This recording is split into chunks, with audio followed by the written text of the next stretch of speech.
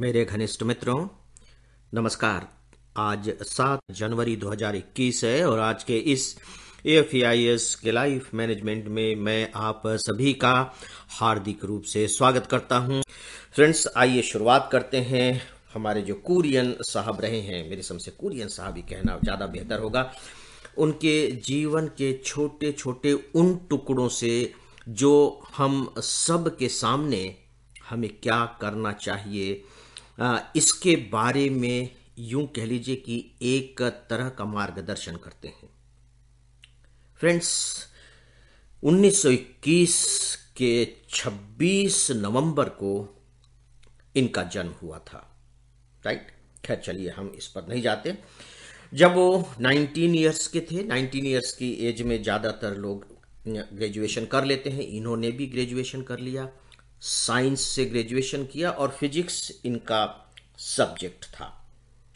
इसके बाद उन्होंने बाकायदे इंजीनियरिंग कॉलेज में एडमिशन ले लिया। अब आप देखिए कि जब वो इंजीनियरिंग कॉलेज में एडमिशन ले रहे हैं तो क्या क्या कर रहे हैं? बाकायदे उन्होंने अपने कॉलेज को रिप्रेजेंट किया टेनिस में, सोच के देखिए, बैडमिंटन में, क्रिकेट में और बॉक्सिंग में भी। चारों खेलों में वे बकायदे अपने कॉलेज को रिप्रेजेंट कर रहे हैं। इसका मतलब यह हुआ कि ये जो चार खेल थे, इन चारों खेलों में से किसी भी एक खेल को वे अपने कैरियर के रूप में चुन सकते थे। और हो सकता है कि उनके मन में ये बात आई भी हो, उन्होंने कुछ कोशिश भी की हो। बहुत स्पष्ट इस इस बारे में कोई बात नहीं बताई गई है। ठीक है, अब आप देखें कि वो फिजिक्स से ग्रेजुएशन कर रहे हैं इंजीनियरिंग करने के लिए कॉलेज में एडमिशन ले रहे हैं, और वहाँ बकायदे वे इतने गेम्स में अपने कॉलेज को रिप्रेजेंट कर रहे हैं, और साथ ही साथ केवल इतना ही नहीं, बल्कि वो जो उस समय यूनिवर्सिटी ट्रेनिंग कोर था, उसमें भी शामिल हुए, और उसमें भी पांचवी बटालियन के सर्वश्रेष्ठ कैडेट चुने गए।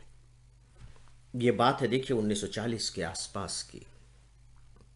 राइट उसमें भी बेस्ट कैडेट चुने जा रहे हैं। अब आप देख रहे हैं कि वो चार गेम खेल रहे हैं, उसमें अपने कॉलेज को रिप्रेजेंट कर रहे हैं। और जब वो बाकायदे यूनिवर्सिटी के ट्रेनिंग कोर में शामिल हुए तो वे वहाँ भी अपने बटालियन के बेस्ट कैडेट चुने गए। तो फ्रेंड्स उनके पिता का निधन हो गया। अब उन्हें कुछ न कुछ करना था। वर्गीय साहब चाहते थे कि वे फौज में जाएँ, और आप देखें कि बटालियन के वो बेस्ट कैडेट चुन लिए गए हैं। उनकी इच्छा थी कि वे आर्मी में जाएँ। लेकिन उनकी माँ नहीं चाहती थी कि आर्मी में जाएँ। तो चलिए किसी के सिफारिश से, जो उनके फैमिली मेंबर्स ही थे, उनको जो जमशेदपुर में टाटा की कंपनी है, TISCO, Tata iron and steel company, वहाँ नौकरी मिल गई। अब आप देखिए कि वे नौकरी कर रहे हैं। ठीक है? चलिए, इसी समय उन्हें पता लगा कि जो ब्रिटिश सरकार है, उस समय भारत पर ब्रिटिश सरकार का ही आधिपत्य था। आप जानते हैं, हम किस समय की बात कर रहे हैं? उन्नीस से पहले की बात कर रहे हैं। तो ब्रिटिश गवर्नमेंट ने यह निर्णय लिया कि यहाँ से 500 लोगों का चयन करके मतलब 500 इंडियंस को सेलेक्ट करके और फॉरेन में एजुकेशन के लिए भेजा जाए, बाकायदे स्कॉलरशिप पर। उस स्कॉलरशिप के लिए वर्गीज साहब ने एप्लीकेशन दे दी। अब आप देखिए कि वो इंटरव्यू बोर्ड के सामने जाते हैं और इंटरव्यू बोर्ड में पहला प्रश्न पूछा जाता है पास्चुराइजेशन क्या है? पास्चुराइजेशन क्या है? अब वर्गीज साहब को पास्चुराइजेशन के बारे में मालूम नहीं था, लेकिन फिर भी उन्होंने अंदाज़ा लगा करके बताया कि मैं इसके बारे में जानता तो नहीं हूँ, लेकिन शायद कोई एक ऐसी प्रोसेस है जिसके ज़रिए जो दूध होता है, उसे जीवाणु विहीन किया जा सकता है। उसी से जुड़ी हुई कोई यह एक प्रक्रिया है। ये उन्होंने बता दिया। अब आप देखिए कि यहाँ हुआ क्या कि वर्गीज साहब ने इसके बारे में कभी सुना नहीं, कभी पढ़ा नहीं, लेकिन शब्द के आधार पर यह बता दिया कि यह दूध को जीवाणु विहीन करने से जुड़ी हुई कोई प्रक्रिया है। तो डेफिनेटली मैं, मुझे व्यक्तिगत रूप से मैं बता रहा हूँ कि शायद ऐसा लगा हो कि जो कमेटी थी, उन्होंने कहा कि ठीक है, तुम स्कॉलरशिप के लिए सेलेक्ट कर लिए गए हो और तुमको डेयरी इंजीनियरिंग के लिए स्कॉलरशिप मिलेगी। डेयरी इंजीनियरिंग यानी कि दुग्ध इंजीनियरिंग के लिए, दुग्ध उत्पाद। इस पर देखिए कि वर्गीस साहब क्या कहते हैं। वर्गीस साहब ने कहा कि नहीं, मुझे या तो धातु विज्ञान पढ़ना या परमाणु भौतिक शास्त्र पढ़ना है। मुझे डेयरी इंजीनियरिंग पढ़ना ही नहीं है। मेरी चॉइस में डेयरी इंजीनियरिंग है ही नहीं, या तो मैं धातु विज्ञान पढ़ूँगा या परमाणु भौतिक शास्त्र पढ़ूँगा। कमेटी ने साफ़ साफ़ कह दिया कि देखो, अगर तुम्हें स्कॉलरशिप चाहिए तो वह तो डेयरी इंजीनियरिंग के लिए मिलेगी, या फिर बिल्कुल नहीं मिलेगी। तुम सोच लो, तुम डिसाइड कर लो। दोस्तों, बात खत्म हो गई।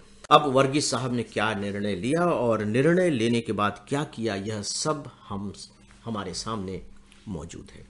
तो दोस्तों, अब फिर वर्गीज साहब ने क्या निर्णय लिया और निर्णय लेने के बाद क्या क्या किया आज वह सब कुछ इतिहास के पन्नों में दर्ज है।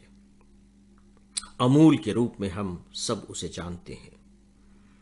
क्या आप जानते हैं कि भारत में जो दुग्ध दिवस मनाया जाता है, राष्ट्रीय दुग्ध दिवस, वो किस डेट को मनाया जाता है? इसकी बहुत कम चर्चा होती है।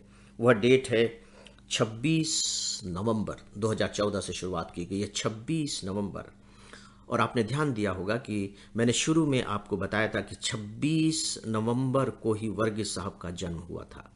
यानी कि उनके जन्मदिन को भारत, राष्ट्रीय दुग्ध दिवस के रूप में हमारा देश मनाता है और उन्हें याद करता है, उनके कंट्रीब्यूशन को याद करता है।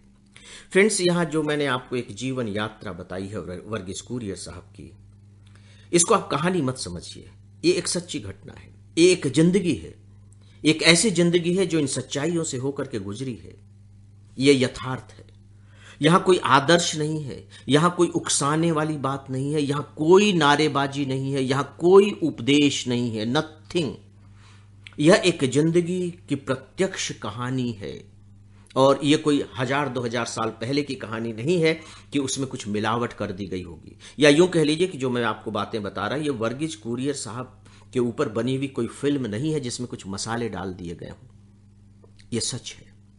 और इसमें अब आप जीवन को पकड़ने की कोशिश कीजिए और वर्गीस साहब के डिसीज़न को देखिए कि क्या क्या वो चाहते थे, लेकिन उन्हें क्या करना पड़ा और जब उन्हें वो करना पड़ गया तो उसमें उन्होंने क्या कमाल करके दिखाया।